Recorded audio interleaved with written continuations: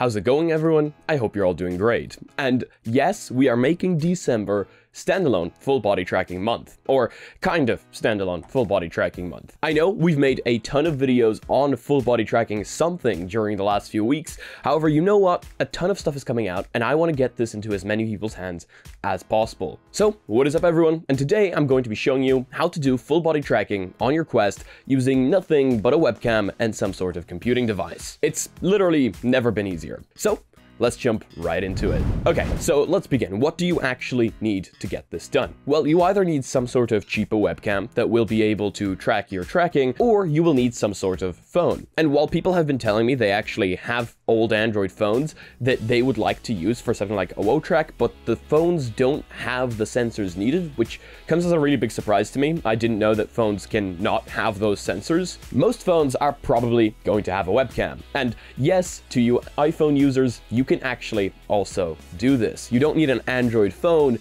in order to get a webcam running. And you will need some sort of computing device, whether it's a computer, whether it's a laptop. It does not need to be VR ready. It does not need to be able to run VR. It just needs to be able to run a piece of software that will transmit the data from the webcam to the Quest. And there's no way to run this on the Quest currently, but Again, this does not need to be VR ready. It does not need to be powerful whatsoever. So with all that being said, let's jump right in. The software that you are going to require is called Driver4VR. Also, I should mention this software is 15 euro on Steam. However, if you bought it in the past, you can actually exchange your old license for a Steam license. We've actually used Driver4VR to do full body tracking using the Kinect, and you can also use the Kinect for this. It's crazy how many methods have popped up, but today we'll be focusing on the webcam side. So fire up Steam as the software is now on Steam and download Driver4VR. Once you have Driver4VR downloaded, you can launch it and select that you want to use the OSC tracker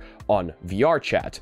Then it might ask you to install the Steam VR driver. Since we're not using Steam VR, you can completely ignore this and let the software launch. Inside the software, you're going to need to change a few things. First of all, you want to switch from Kinect tracking right up here to camera tracking. And once you've done that, you want to select the camera you want to use. So now would be a good time to plug in your USB webcam in case you haven't done that already, or connect your phone if you're using that as a webcam. If you are using your Android phone, let me show you how you'd get this done. Download a software from the Google Play Store, something along the lines of DroidCam or some sort of webcam software for Android phones. There's plenty. I'll be using iVCam just for this purpose, and it's simply because I've used it before, no preference. Then download the client software. For me, it's the iVCam client software onto my PC. If you're using DroidCam, you'd download the DroidCam client software on your PC all the same, connect the two, make sure everything is running, and place your webcam in some place where it's going to see the larger majority of your play space. And once you are transmitting the webcam from your phone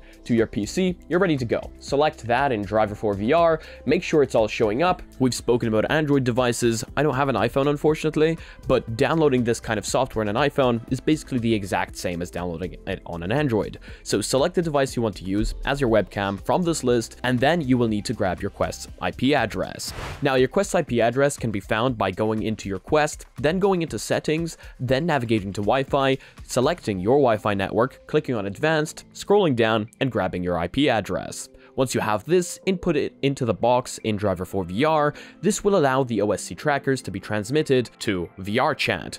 Once you've done that, you can click on Show Preview in case you want to see what the camera sees, and click on Start. Now would be a good time to launch your Quest. So let's do that and hop into VRChat. And yes, we are using the fully standalone version of VRChat for this. You do not need any PC to run the actual version of VRChat, but you do need the open beta for VRChat that is available in App Lab, which I will leave a link to down below. It's really simple to install. You just install it like you would any other Quest app because it is an official Quest app. Now inside this beta version of VRChat, you have to use a VRChat account to log in. You cannot use your Oculus account. So go ahead and do that and jump into the game. Now, once you're in the game, you're going to want to enable OSC trackers. This is super simple. You just use the action menu on your right hand, navigate to OSC and enable OSC tracking. It's that simple. Now, once you have OSC enabled, you'll want to make sure that you enable full body tracking inside the menu, or else you won't get this extra menu show up. Once all your trackers have spawned in, you might notice that they are probably not facing the exact correct direction. Fixing this is super simple. All you do is you launch your VRChat menu, scroll down a little bit, and click Auto Recenter OSC. Now, while doing this, you want to spread your legs out just a little bit and face forwards towards the camera. This will recenter your OSC trackers and make them face in the correct direction. Do keep in mind, if you're using a phone webcam, you might need to mirror the image inside the settings of the phone webcam app if your legs are still flipped after this. This is something I actually had to do, and it's just a little tip. What I've also found is the software seems to work better if you have your phone in portrait mode instead of in landscape mode. Not sure why that is, but also something I found. In this menu, I've also set my trackers to system, so I would recommend you do that as well. Now, before moving on to calibrating your full body tracking, you want to make sure your height is set correctly inside Driver4VR. As you can see here, you can change the height, and the only reason you would change the height is if the trackers were appearing inside the floor in-game, so just make sure that's correct and move on to the next step. Now move around your legs, your hips, and all the other parts of your body that you now have access to, and if you notice that they are flipped or moving in the wrong direction, click that Reset OSC button once again. That should flip the direction and hopefully fix whichever way you're facing. And then you can move on to calibrating full body tracking for your avatar. So that's just as simple as clicking on calibrate full body and then doing the little T-pose. Once you've done that, I also like to have my calibration visuals on so that they tell me if everything is working correctly. We can see that they definitely do work. Like, I can move my leg to the side, I can move my other leg to the side, uh, I can move my hips to the side, like I can dance. There's a lot and a lot of drift.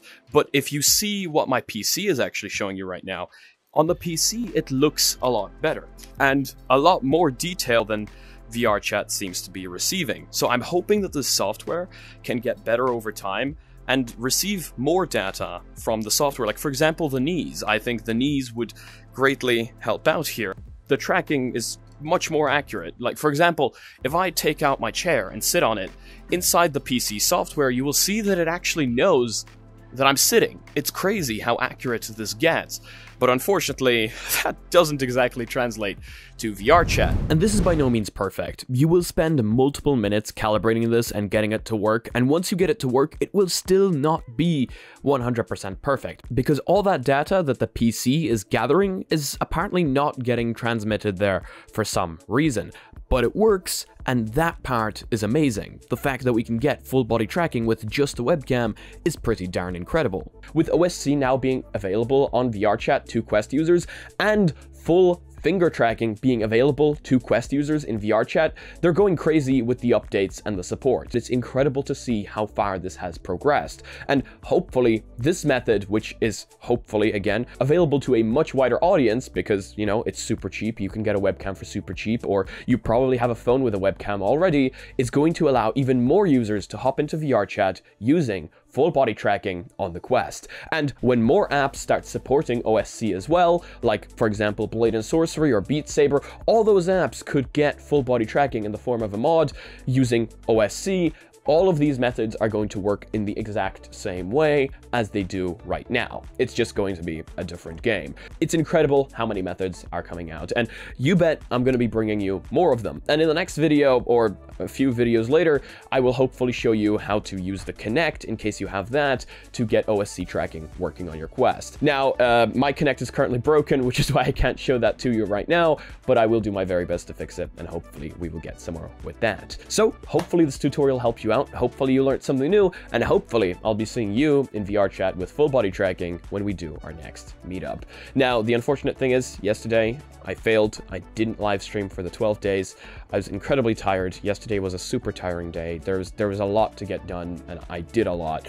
And unfortunately, I just I did not feel capable or comfortable streaming yesterday. So uh, yeah, I, I, guess I didn't see that coming when I said we'll be streaming for 12 days. So I just want to apologize here for that. But if you guys liked this video, please do leave a like. If you disliked it, I guess this button works too. But let me know why down in the comment section below. If you guys are not yet part of our community, check out our Discord down below and check out our Reddit, where I want to see you posting your spicy memes. Thank you so much to all the Patreons supporting this channel. You guys help me out a ton, paying my bills, paying my subscriptions, and helping me make these videos better. And as usual, if you guys want to be notified of extra content coming up on the channel. Make sure to smack the subscribe button with your forehead, ding my bell, and see you again in the next video.